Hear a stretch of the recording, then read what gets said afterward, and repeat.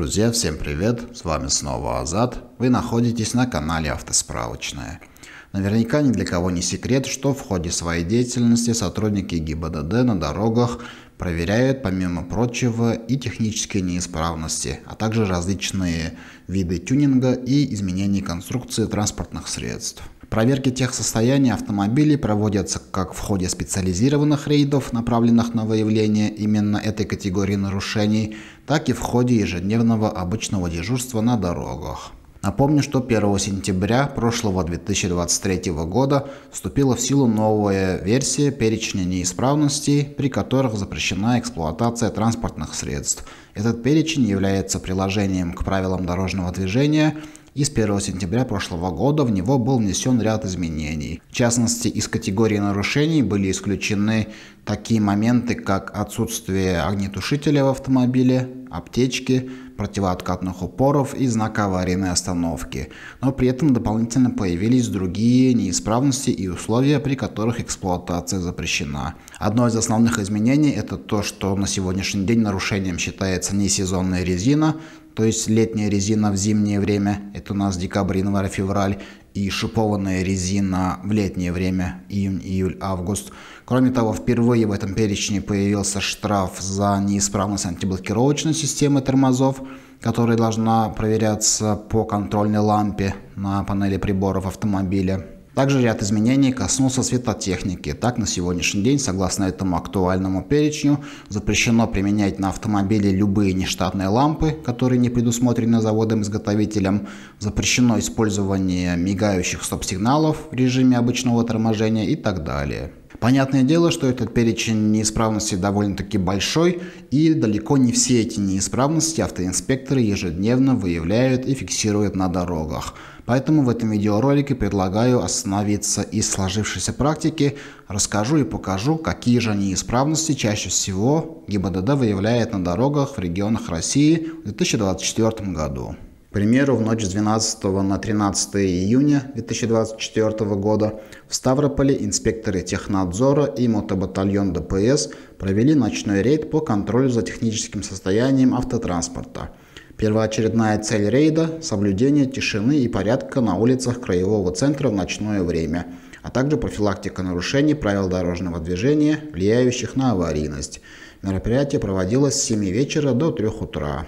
За несколько часов нарядами выявлено 39 нарушений ПДД. Так, у 11 автомобилей на стеклах была тонировка, у двоих водителей выявлена эксплуатация транспортных средств с превышением нормативов уровня шума. Это автомобили с громким или так называемым стреляющим выхлопом, на которые жалуются горожане. У семи автомобилей выявлены технические неисправности, при которых эксплуатация запрещена. Составленные материалы в отношении водителей направлены в Межрайонный регистрационный экзаменационный отдел госавтоинспекции Ставрополя. Регистрация этих транспортных средств будет аннулирована. Передвигаться на транспорте владельцы смогут только устранив неисправности, после чего автомобиль придется заново ставить на учет в подразделении МРЭО, предоставив автомобиль на осмотр на эвакуаторе. По информации ГИБДД региона, наиболее часто встречающимися нарушениями по неисправностям среди водителей являются тонировка, несанкционированная установка газобаллонного оборудования, неисправность световой системы, установка резины с разным рисунком протектора либо изношенной резины, внесение изменений в ходовую часть автомобиля, в том числе уменьшение количества витков пружин, а также установка пневмоподвески. Друзья, если вам предстоят срочные траты, к примеру, покупка комплекта сезонной резины, страховки, неожиданный ремонт автомобиля или техобслуживания, вы можете быстро получить микрозайм в компании Займер. Деньги придут прямо на вашу банковскую карту в любое время суток в течение нескольких минут. В этом году компании Займер исполняется 10 лет. В связи с этим 17 июня 2024 года стартовал большой розыгрыш. Среди клиентов, оформивших заем, каждый месяц будет разыгрываться более 70 крутых призов. Среди призов ноутбуки, смартфоны, пылесосы, микроволновки, а также другая бытовая техника и полезные гаджеты. А в последний месяц среди всех участников акции будет разыгран главный приз – это новенький автомобиль прямо из автосалона.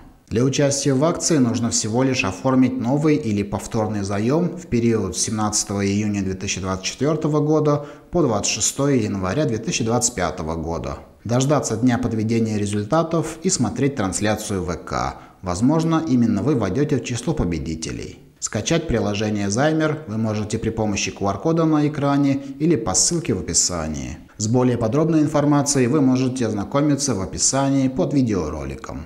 В Тверской области ГИБДД регулярно проводит профилактическое мероприятие под названием «Техрегламент».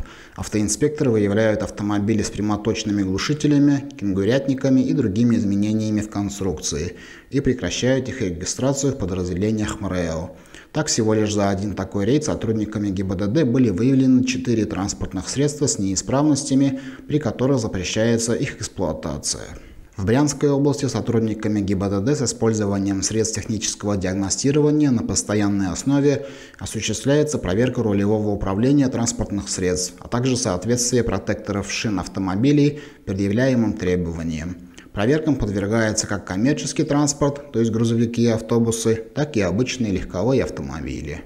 А в Орловской области с использованием специального прибора ESL-M Сотрудники госавтоинспекции измеряют суммарный люфт в механизме рулевого управления автомобилей. Кроме того, автоинспекторы проверяют соответствие конструкции транспортного средства требованиям нормативно-правовых актов, состояние покрышек, колес автомобилей, внешних световых приборов и прочих элементов конструкции. Я напомню, что за большинство перечисленных неисправностей на сегодняшний день водителям грозит предупреждение или штраф по части 1 статьи 12.5 КоАП РФ, но при этом есть ряд нарушений, при выявлении которых дальнейшая эксплуатация автомобиля или мотоцикла запрещается.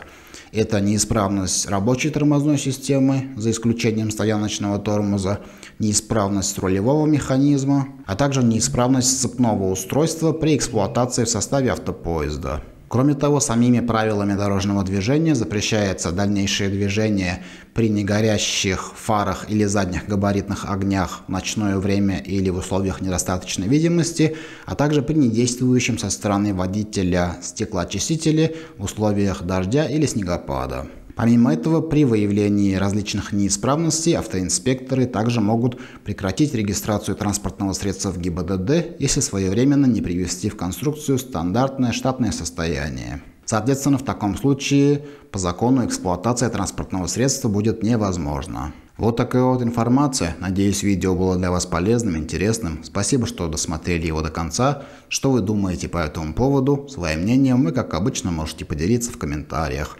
Также в комментариях вы можете написать, по каким видам неисправностей проводятся рейды в ваших регионах. Я думаю, всем будет интересно почитать и сравнить. Желаю всем безопасных дорог и всем пока.